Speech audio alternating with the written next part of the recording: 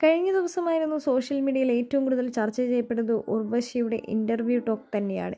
ഉർവശി അതിനിടയിൽ മമ്മൂട്ടിയെക്കുറിച്ച് വളരെ വ്യക്തമായി പറയുന്നുണ്ട്. മമ്മൂട്ടി നല്ലൊരു തമാശക്കാരനാണ്. അദ്ദേഹത്തിന്റെ ഉള്ളിൽ ഒരു തമാശ പറയുന്ന ഒരു ചെറിയ കുട്ടി എപ്പോഴും ഒളിഞ്ഞു കിടക്കുന്നുണ്ട്. അദ്ദേഹത്തിന് കണക്റ്റ് ആവുന്ന ആളുകളുമായി അദ്ദേഹം നല്ല രീതിയിൽ സംസാരിക്കുന്നത് ഞാൻ കണ്ടിട്ടുണ്ട്. എന്നോടും അങ്ങനെ സംസാരിക്കാറുമുണ്ട്. തമാശ പറയാൻ പൊതുവെ ഇഷ്ടമുള്ള ഒരാളാണ് മമ്മൂക്ക എന്നാണ് പറയുന്നത്. കോവിഡ് കാല സമയത്ത് ഒ ടി ടിയിൽ സിനിമകൾ റിലീസായ സമയത്ത് സുറൈ പോട്ടറും അതേപോലെ തന്നെ മുക്കുത്തിമന്നൻ എന്നൊരു സിനിമയും ഇറങ്ങിയിട്ടുണ്ടായിരുന്നു. അതിൽ സൂറൈ ബോട്ടർ എന്ന സിനിമയുടെ കഥയല്ല എന്നെ വിളിച്ച് പറഞ്ഞത്. മുക്കുത്തിമന്നന്റെ കഥയാണ് എന്നോട് പറഞ്ഞത്. കാരണം അത് കുറച്ച് കോമഡിയായ ഒരു ഫിലിം തന്നെയാണ്. മമ്മൂട്ടി അത്രയും കോമഡിയായി ഉള്ള സിനിമകൾ കാണാനാണ് ആഗ്രഹിക്കുന്നതെന്നും ഉർവശി വ്യക്തമാക്കി.